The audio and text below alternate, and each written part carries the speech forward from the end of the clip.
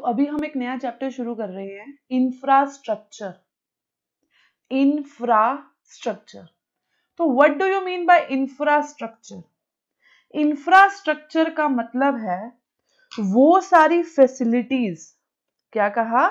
वो सारी फैसिलिटीज़ किसी एरिया में कहो, किसी सिटी में कहो, किसी कंट्री में कहो, जो उसकी डेवलपमेंट के लिए बहुत ज़्यादा ज़रूरी होती ठीक है?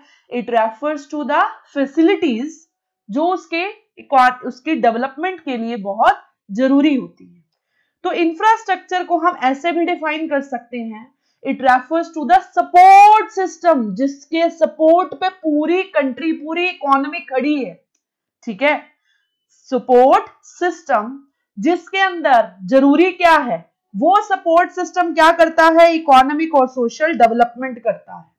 जिसके बिना हमारी कंट्री की इकोनॉमिक और सोशल डेवलपमेंट पॉसिबल नहीं है। और अगर हम उसको लेकर भी चलते हैं तो वो हमारे प्रिमिटिव एज में होती है, अगर हम उसको नहीं लेकर चलते इंफ्रास्ट्रक्चर को।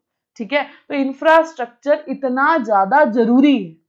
डन मतलब इसके बिना आप डेवलप कर ही नहीं सकते, आप आगे जा ही नहीं सकते। अगर एक समुंदर है, ठीक है, उसके आगे जाने के लिए, उसको पार करने के लिए आपको क्या चाहिए? आपको शिप की रिक्वायरमेंट है। ठीक है? ऑब्वियसली अब आज के टाइम पे हनुमान जी तो आएँगे नहीं, आपको लेकर जाएँगे उड़ा के।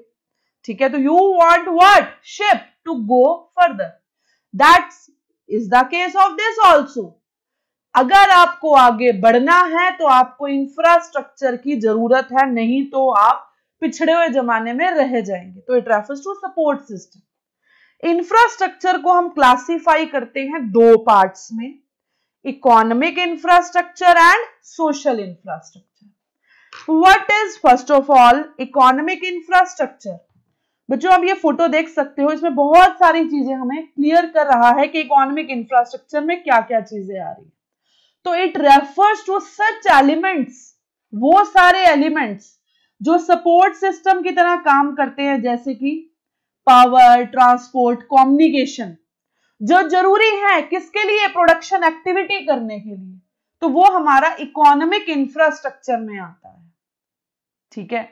अगर इनकी सप्लाई अबंडेंट में अवेलेबल होगी, बहुत ज़्यादा अवेलेबल होगी तो क्या होगा? सपोज़ करो पावर सप्लाई प्रॉपर अवेलेबल हुआ तो प्रोडक्शन एक्टिविटी आपकी रुकेगी नहीं, चलती रहेगी। अगर आपका ट्रांसपोर्ट प्रॉपर अवेलेबल हुआ तो आप इजिली अपने गुड्स को एक जगह से दूसरी जगह ले जा सकते हो। और अगर आपका कॉम्युनिकेशन प्रॉपर हुआ तो आप अपने सारी चीज़ों को एक टाइम पे, कहने का मतलब आप एक्सचेंज जो है और बेटर वे में कर सकते हो। तो तीन चीज़ों की अबंडेंस अगर हमें मिल जाए तो हमारी इकोनॉमी पता नहीं कहाँ की कहाँ पहुँच जाए। डन और दूसरी साइड आता है हमारा सोशल इंफ्रास्ट्रक्चर जो हमारी सोसाइटी से रिलेटेड है, जो हमारी हेल्थ से रिलेटेड है, हमारे यहाँ से रिलेटेड है। ठीक है? दैट मीन्स ऐसे ऐसे एलिमेंट्स ऐसे एलिमेंट्स, ऐसे सपोर्ट सिस्टम जैसे कि स्कूल कॉलेज और हॉस्पिटल हैं जो सोशल डेवलपमेंट के लिए रिक्वायर्ड है। अब सोशल डेवलपमेंट का क्या मतलब होता है? It refers to human resource development social development का मतलब क्या है? ह्यूमन रिसोर्स की डेवलपमेंट ये कब अकर होती है? ये तब अकर होती है जब हमारे पास एक हेल्दी और एफिशिएंट वर्क फोर्स होती है। क्या होती है? हमारे पास हेल्दी और एफिशिएंट वर्क फोर्स होती दैट मीन्स कहने का मतलब ये है कि अगर हमारे स्कूल, हमारे ये मेडिकल कॉलेज या ये कहो कि हॉस्पिटल्स वगैरह अच्छे से डेवलप होंगे तो हम लोग अच्छे से लिविंग कर पाएँगे। और उससे क्या होगा? सोशल डेवलपमेंट होगी। हमारा ह्यूमन रिसोर्स जो है वो प्रॉपरली वर्क कर पाएगा। हमारा वर्क फोर्स प्रॉपरली वर्क कर पाएगा। दैट मीन्स कि इकोनॉमिक इंफ्रास्ट्रक्चर क्या करता है? वो एक्सलरेट करता है, बढ़ाता है प्रोसेस ऑफ़ ग्रोथ और सोशल इंफ्रास्ट्रक्चर क्या करता है? ये ह्यूमन डेवलपमेंट की ग्रोथ को बढ़ाता है। बात समझ आई? इधर बढ़ रहा है इकोनॉमी इधर बढ़ रहा है ह्यूमन डेवलपमेंट तो कहता है बट इकोनॉमिक ग्रोथ इनकम्प्लीट है। किसके बिना? ह्यूमन डेवलपमेंट के बिना। कहता है, दोनों के दोनों कॉम्प्लीमेंट्री है एक दूसरे से। कैसे भैया? कैसे हुआ ये? ध्यान से सोचो, समझो। यहाँ पे मैंने हाउ भी लिखा है। कैसे? कैसे का आंसर ये है कि अगर हमारे इकोनॉमिक डेवलपमेंट तो होती जाएगी।